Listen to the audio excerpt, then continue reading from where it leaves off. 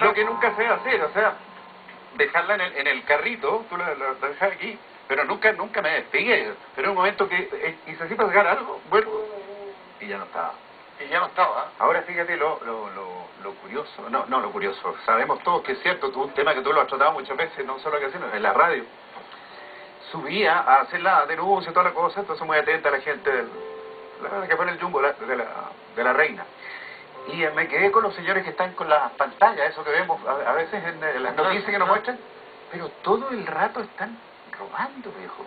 El, el, el- A cada rato, claro. en cualquier parte, ¿ah? no, no solamente ahí en No, la- no, en la en reina. pues. los supermercados. Porque, claro, me, me- al final estaba entretenido, pero realmente avispado por eh, eh, esta cosa de, de tanta gente. Pero lleno de, de mecheros, mecheras y, y gente que, y otros que van eh, detrás del, del, del tonto, como yo que dejé la, la cartera arriba del, del carro. Y te diste vuelta y te, la, y te pegaron esa. O sea, ya no respetan ni siquiera Nada. al oído, lo- al oído de la música. No, ni siquiera me respeté. Yo Espero que los compadres me devuelvan la, la- las A cosas ver que no si les me, sirven. me- cortan el fono. Eso, ahí, pues, córtenme el fono porque estaba sintiendo las conversaciones ahí arriba. Oye, bueno, así que ya lo saben de nuestro servicio de utilidad pública. si, si alguien encuentra la, la, la- Bueno, me imagino que se lo robaron, pero los ladrones, el carnet y esas cosas no les sirve de nada. No, pues, ¿para Por qué? lo menos devuélvanlo. ¿ah? Dejate Claro. tu dato ahí en el, en el Sí, supermercado. ahí está, el- sí, está todo. Con eso. Y el, el teléfono también está dentro de la carterita, por ahí, el celular, así no pueden llamar los muchachos. Hoy día al programa de radio llamó una persona que había encontrado un palo de golf en La Reina y que si dio su email por si la persona que lo había perdido diera las características y le devolvía el palo. Y al ratito escribió otra persona diciendo que había encontrado 500 mil pesos eh, botados en la calle y que si alguien... eh, que, que- y, y que él tenía el elástico, que si alguien reconocía el elástico lo devolviera. Así que, Pollito, no creo que te devuelvan lo- las tarjetas de crédito, ¿ah? Pues ya me imagino que las bloqueaste. No, está todo bloqueado. Ya, qué bueno. Todo bloqueado. ¿Qué es de la vida del pollo fuente que tanto tiempo que no lo vemos en televisión? Eh, aquí ando en, en programas de entrevistas, no, Sí.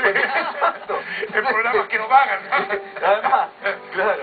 lo- eh, sí, me ha tocado ahora eh, varios programas por ahí donde ido a, a conversar, pero siempre es muy grato estar en la televisión. Estoy dedicado exclusivamente a, a cantar a todo lo que son los, los pitutos, que Los somos los dos bien pituteros, nos encontramos en varios eventos cantando y Checho haciendo su, su show.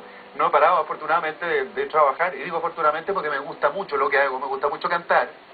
Y hoy día es muy difícil estar presente en la televisión porque hay otro tipo de programas en donde los musicales no son muy importantes. Hay códigos distintos hoy día en la televisión. ¿no? Claro, si tú ves, los, los cantantes no tenemos otro lugar que presentarnos que en los eventos de empresas, de municipalidades, cosas privadas, pero la televisión no tiene musicales donde pueda haber jóvenes, que yo lamento mucho especialmente por los más jóvenes que puedan presentarse y, y, y, um, y dar a conocer su, su talento hoy día no espero que sea un ciclo de estos que y que vuelva la Que- otra vez la yo creo que está empezando a volver ya que la gente tanta farándula, tanto de tanto de un, de un rubro en particular, yo no quiero decir que sea mala, que, que de- tiene su público, porque si no, no existirían esos programas.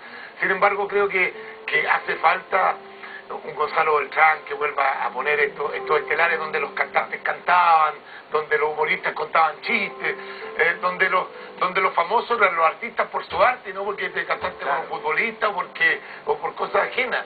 Yo me imagino que tú, que has sido un ídolo de la canción, que realmente te ganaste un derecho en este país, debes mirar con nostalgia esta televisión que ves tú, gente que está ahí porque no sabe por qué está. Y no sabes qué, qué- qué hacen tampoco. Claro. ¿ah? Ah. Porque si viene un- un- una persona, te pregunta un, un extranjero, un turista, y, eh, ah, mira el programa que están, y esta chica, ¿qué es lo que hace? Eh, no sé. Eh, pero canta, no. Eh, baila, no, tampoco. Y, y- y nada, o sea, no sabéis qué decirle a la otra persona, ¿por qué está en la televisión? Claro. Porque de repente apareció a lo mejor en una discoteca y tuvo algún problemilla, y entonces se hizo famosa por un tiempo y ya está en Bueno, aquí tuvimos a Dueña que nos contó que él a su dirigida la hacía pelear porque cada vez que peleaban le subía el caché para la próxima presentación bueno. en una discoteca. O Bueno, sea, ya, la última vez que salí en una ¿por qué portada no diario, combo pollo y nunca hemos hecho un escándalo? ¿Por qué no? yo acompañé un burro en San, San Pedro de Atacama Sí. y salí en portada, pero Qué era penca, vaginal. te metí. Fue un choque penca, penca, Fue penca. oye, y- y- Pero largamente comentado. Pues. largamente comentado. Ah, Oye, de verdad que eh, pareciera ser que estamos construyendo un país que, que, que se hace más noticias por las cosas malas que por las cosas buenas, ¿no? Lamentablemente, las cosas que llaman la atención es que dicen que, bueno, ahora es, es, cierto eso que dicen que la noticia es no un perro mordió a una persona, sino la persona mordió al, al, perro. pero Pollo, tú tocaste las nubes en materia, por lo menos las nubes de nuestro país, sí. con nuestro mercado. Más lejos que tú es difícil que alguien llegue. Yo pensando en el, en el mundo del espectáculo en Chile, me imagino que alguien que ha llegado más lejos que tú es Don Francisco, por decirte, porque, porque hizo una carrera internacional. Pero tú estuviste en los principales estelares de este país animaste los principales shows de este país, fuiste animador del Casino Viña, te has codeado con los principales artistas que han venido a este país, los, te ha tocado presentar. Y cantar con varios de ellos también. Y cantar con varios de ellos. ¿Cuál, ¿Cuál de estos artistas que, te ha tocado cantar te, merece mayor respeto? Porque uno de repente dice, ah, Pollo Fuente, un te ha tocado las nubes. Yo te conozco, somos amigos muchos años, nos tocó trabajar juntos. Sí. Eh, pero uno de repente, estos, estos artistas se da cuenta que mientras más grandes son más sencillos, ¿no? Los más grandes son los más sencillos, eso es verdad.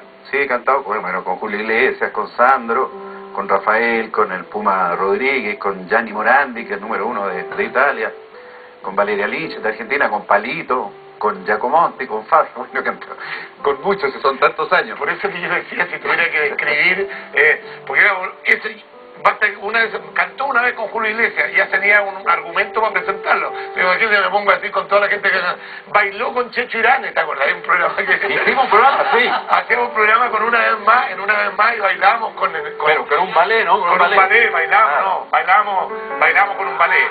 Nunca, nunca nos dio por salir de closet en esa época. Bueno, oye, pero yo quiero, yo quiero mostrar algunas imágenes de José Alfredo Fuente con su amigo, ¿eh? Para que nos vayan comentando tú. Ya. A ver, ¿quién ¿con quién estás ahí? Eh, acércame un poquito más. Ah, no, aquí estoy con los muchachos, este es un, ah, este grupo mexicano. Era, no, eso eran los tres. No, no, no, eran los mexicanos que me acompañaron el disco. Yo grabé con los tres, pero ese día me acompañaron eh, los, los chicos. Ahí está Andrea Tessa, Gloria Simonetti. Gloria Simonetti.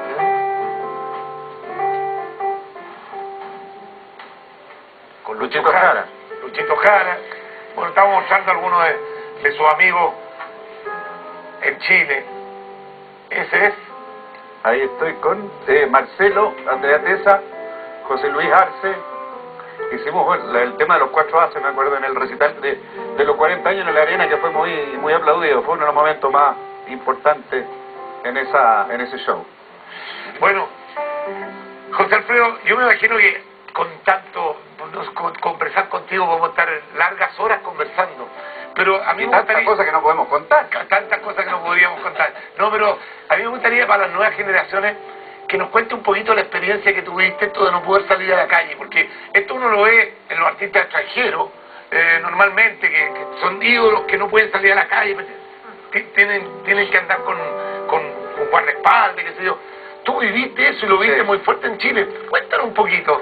¿Cómo fue eh, comienzo a cantar en... Em, mayo del año 66 y a, yo diría que en octubre, grabo Te Perdí, que fue el tercer disco, y ya me transformo en una figura muy, muy popular. Y empieza toda esta cosa que venía un poco desde, desde fuera, el, asedio de los Beatles, empieza a darse acá en Chile y el elegido del momento, porque aparecí justo en el momento preciso, eh, fui yo. Entonces ya no podía salir a la calle, prácticamente tal como tú decías, tenía que andar acompañado, si iba al cine tenía que esperar a que se apagaran las luces para entrar. Eh, lo, más eh, difícil de cada Vamos revisando algunas imágenes de esa época mientras seguimos conversando. Bueno, ahí está, la, ahí está Fan Club, que anda, que ahí me están esperando en algún aeropuerto. Es, es Cerrillo, fíjate, el alcance de ahí. Están esperando, ahí vengo llegando de Venezuela, donde había ganado un festival con dos canciones. ¿Me tocó cantar la Chávez o no? Segundo lugar. No, no, no, Chávez no estaba. Mira los carabineros que se ven con su uniforme más antiguo. Bueno, así tenía que pasarse José Alfredo Fuente en esa época. Sí. Lo más difícil era cómo salir del lugar donde yo estaba cantando. Más que preocuparse el sonido, la iluminación, era por dónde sacamos al pollo después para que eh, no era una, era una verdadera locura. Cariño. Ahora, yo cuando cumpliste los 40 años, eh, no sé si fueron los 40, cuál, cuál no recuerdo. Laura, los 30. Ah, los 30 años de Santa Laura,